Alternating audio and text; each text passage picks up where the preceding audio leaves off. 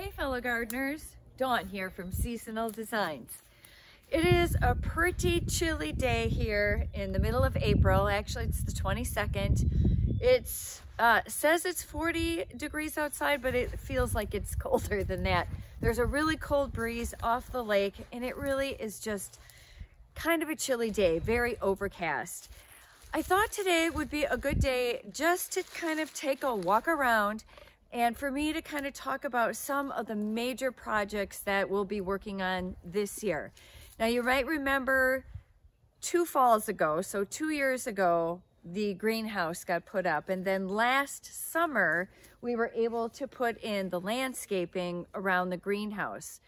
Then this past fall, I started planting some bulbs here what, where you see me standing and behind me. But I have a couple of other projects that I have been working on. One that is in the front yard where was what was once kind of the entryway to come back to this project through the prairie. I want to talk about the prairie, the burning that we've done and the seeds that I have been putting in. I also will show you what I've got going on in the greenhouse. Just a couple of things that are on like my major project list for this year. So if you guys are ready, let's get started. Well, I thought we would start by talking about the prairie. And I am standing at the edge of my prairie, looking kind of over uh, part of the prairie here, and then the greenhouse, and then our house, and part of the lawn. And you can see in front of me where we had a section of this prairie burned.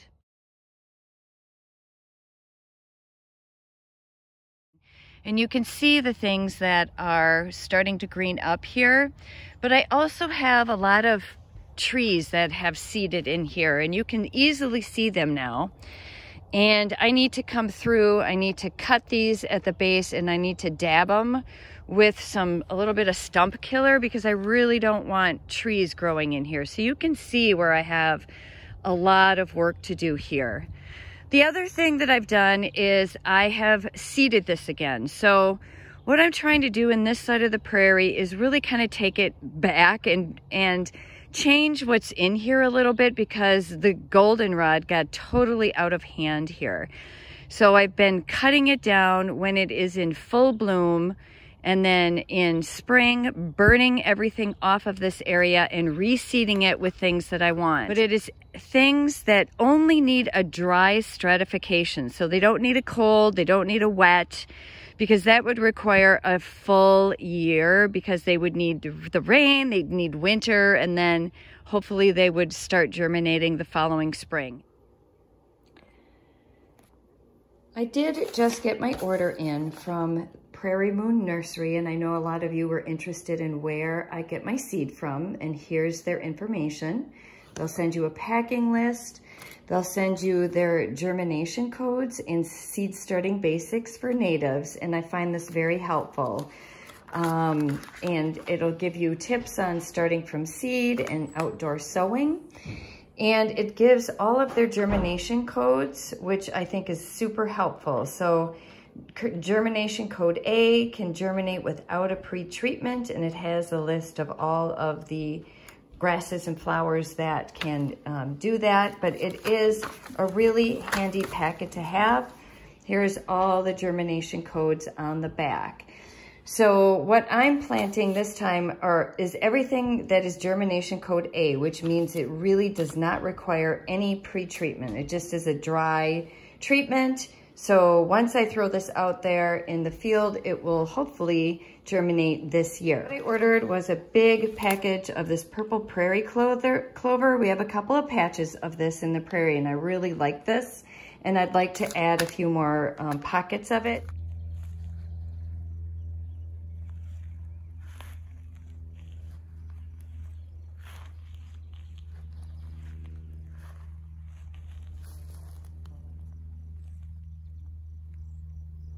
We also have this showy tick trefoil. I have an aromatic aster.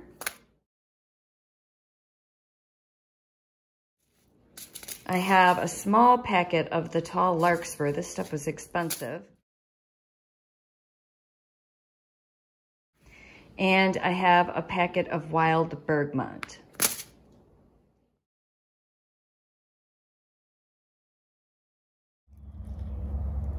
It's really pretty easy to do. You just grab a handful, decide where you want it, and you just hand broadcast it. And I'm gonna do a couple of different pockets of this, but it's pretty easy. The rest of the prairie got cut about, oh, three weeks ago, two weeks ago maybe. And you can see it's already looking green with the snow and the rain that we got provides really good moisture. There are flowers that are coming up already. Like here's one right here. This is a little couple of lupins coming up right here. And you'll see these kind of all over the prairie. That is going to be the first flower that is going to bloom here. Well, here's a nice big patch of lupin. You can see them all coming. There's just a lot of them. I mean, this whole area right here is just filled with a number of lupins starting. And now I'm standing kind of down a hill that you never see when I do my videos because it's way back at the end of our prairie and it kind of slopes down a hill. And so this whole side of the hill here, you can see with the brown, is all little blue stem. But we have all of this cut for us with the tractor because just so that you can get an idea of how big it is. I mean, it is several acres. It's about seven or eight acres. So we do have someone come in and cut this down. You'll see where I kind of come up to this lovely pocket of pines here. And then you can see, you get to start to get a glimpse of the greenhouse and the rest of the prairie. I'm standing here at the back patio and I, we're going to go into the greenhouse. I did, there was a number of things I was able to pot up into larger size pots today, but I wanted to talk about another project that we are going to be doing here. We're going to extend the walkway here on this side to the patio here so that as we're entertaining here or going from the kitchen out to the greenhouse, we don't have to always walk through the lawn. Take that stone and just kind of extend it and we'll what we'll do is we'll have it set into the grass and then just mow right over it, sort of like what we have started here. Things are, things are popping, things are getting bigger.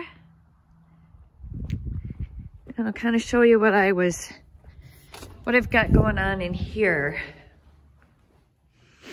Other than the things that I, you know, I have my violas growing and I have some beautiful geraniums that I started. Aren't they beautiful?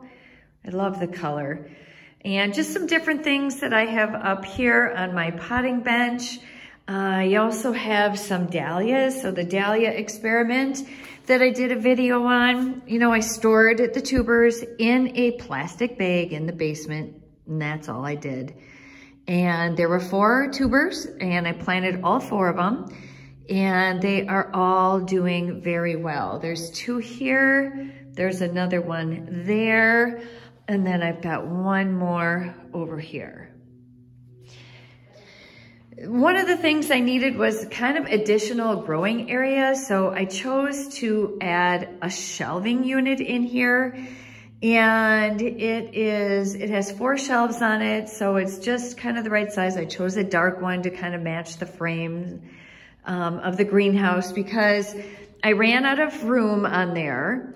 And so I thought, you know, let's, let's add something and go up and go vertically. And so far it's been working really well. And I also have my beautiful clematis in here and I'm so excited because look at you guys. It has buds already. So it is what, April 22nd, I think, today. And I have been growing that in the greenhouse. It is doing so well. It is gonna bloom early. I know I probably should put it outside so it acclimates and I will eventually, but I'm so excited to have it bloom. I'm just, I'm gonna just let it go in here. And then over here, these I really have not potted up to a larger size and you can see that I need to do that because look at all of the snapdragons that I have. Like some cells have four or five. I mean, I must have did a terrible job spreading these out. And then like this doesn't have any, oh no, there's one tiny one right there and a tiny one right there. They're so, they're so sporadic and they're coming up at such different times this, this year. It's kind of weird. You can see I have three kind of flats of them. And I am going to, this is something, I do need to pot these up into larger sizes and I'll maybe do that tomorrow.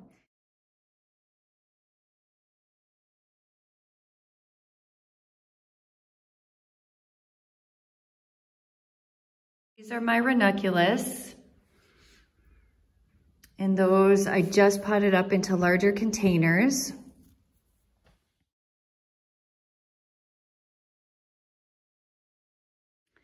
And then I have some sweet peas down here. And this is sea holly. This is, these were bare root. This is a patch of bare root perennials that I planted.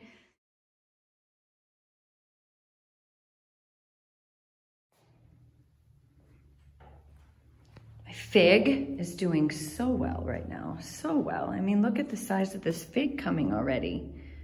Isn't that awesome? Oh, there's another one. Oh gosh, it is doing so well which is very exciting to me. I potted up everything you see here, got potted up from the seed starting trays to larger trays um, just today.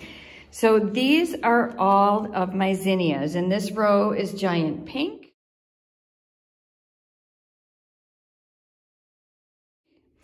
This row is the giant rose. And this row is the Queen Red Lime.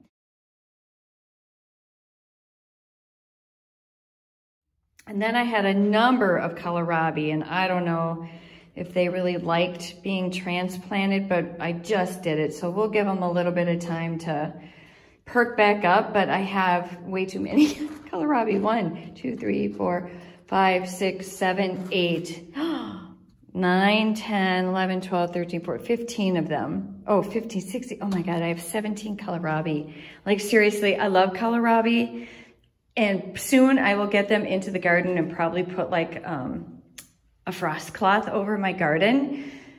But I really didn't intend to have 17 of them. But hey, I love them. I eat kohlrabi raw. I, I love to go out to the garden, pull one out, peel it and eat it. I like to eat it when they're smaller and they're tender. Oh, I just love them. But anyways, so this was a tomato that actually was growing in with one of my kohlrabi, so I really don't know what variety it is.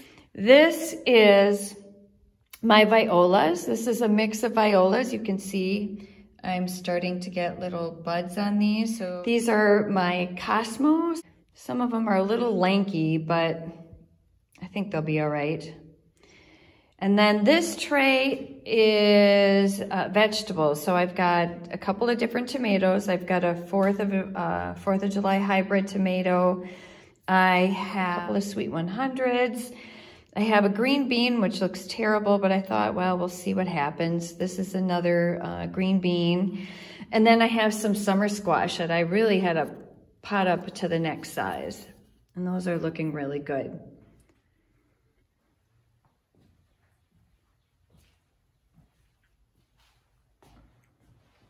Still a wonderful mix of growing and entertaining. We just had a few people here for lunch today, really enjoying the space. Well, this little bed here out front in the center of my walkways to the greenhouse, remember this is my annual bed. So every year I'm gonna just plant something different in it. And last, not last year, the year before last, I planted daffodil bulbs in here and nothing came up, like nothing came up. And I thought, well, that's, that kind of sucks. Um, and this year they started coming up. So I don't know if they just needed a, a year, an extra year. I thought maybe, gosh, I planted them too deep. I don't know. But these are little teates, and aren't they just, aren't they pretty? And then I have some silica in here.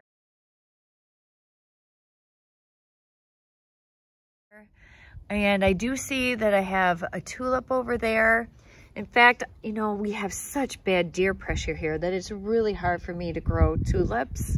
But I thought, well, maybe if I plant up a bunch of things that deer don't like, like daffodils, and then throw some tulips in, maybe the deer will leave them alone. So I don't know. Then I did the same thing over here where I planted up a bunch of daffodils and I threw in just a couple of tulips to see what would happen. So my goal here is really to cover this whole area in through here all the way maybe up to the path where the path starts into the prairie and just keep adding more daffodils. And this was just a mix I bought from Longfield Gardens. Has a number of different uh, daffodil types in it. Just kind of show you some of these. I don't have the names, but let me see if I can find the names and I can always pop them up. But whoop, aren't they pretty? And then there's a white. Here, this one is a white with a yellow. Ugh, they're just so gorgeous. I just love looking and seeing all the different varieties here. And then what I'd like to do is I would like to add more of that purple-ish blue silica and then more of those little orange tulips I showed you. I think that if I could just fill this up with that, provided I can remember where I have stuff, I think it just would be so pretty. And then what will happen is as the foliage is dying back, the grasses and the flowers that are in here will cover it and oh. hide it. We'll see how it looks. I thought I'd start with a couple hundred and just kind of see how it looks. And if I like it, I'll probably do something very similar on the other side of the greenhouse as well. And my thought is is underneath or around kind of this pine tree over here maybe have kind of the same look. look. In this whole section, like right in here, I don't like how wild and woolly it is. It's still prairie versus my kind of controlled earthy native plantings. So I'm going to get rid of this whole section right here and I'm just going to extend this bed so that it comes out a little bit further and my prairie kind of blends in a little further off to the left.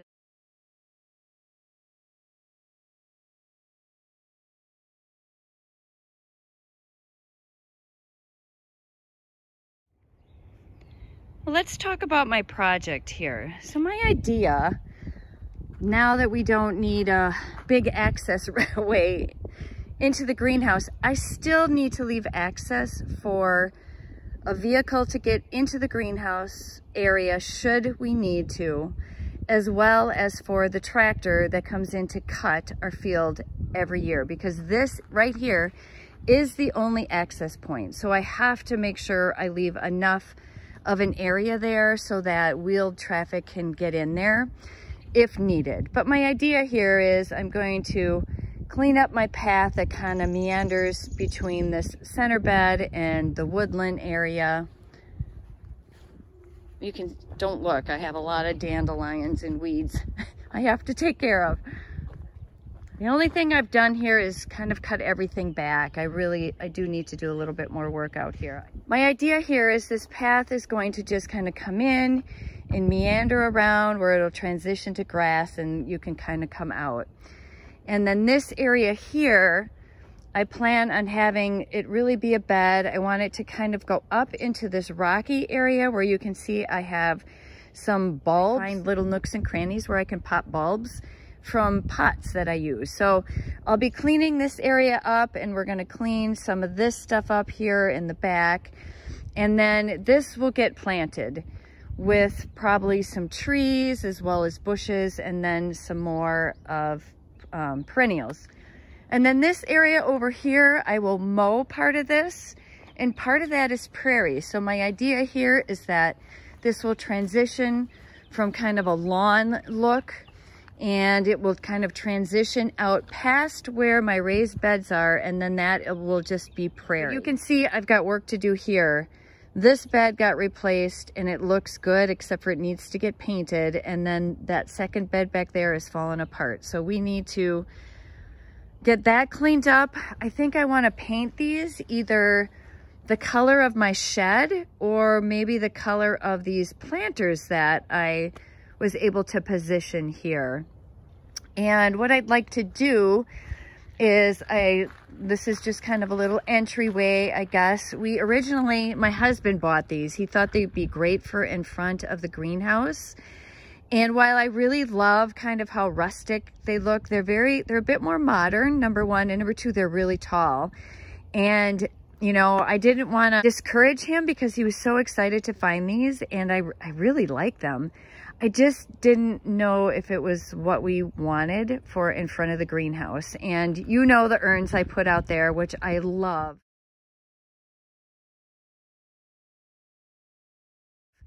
But I really do like these and I feel like they needed a space. And I thought they might look really nice at kind of this little entrance here to the garden beds. So anyways, I'm going to clean this area up here and I am going to take you guys along for that project. So I'll take you along for what we're going to do here.